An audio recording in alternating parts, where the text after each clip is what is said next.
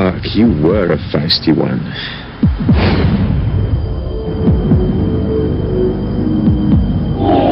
Jade.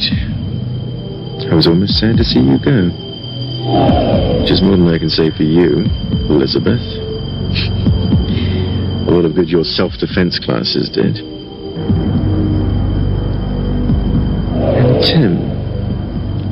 You little weasel. You're as good as dead, even if I couldn't finish you off myself. Come out of that coma, you'll have all the personality of limp broccoli. No doubt an improvement. And Meg. My dear, sweet Meg. You're next on the chopping block.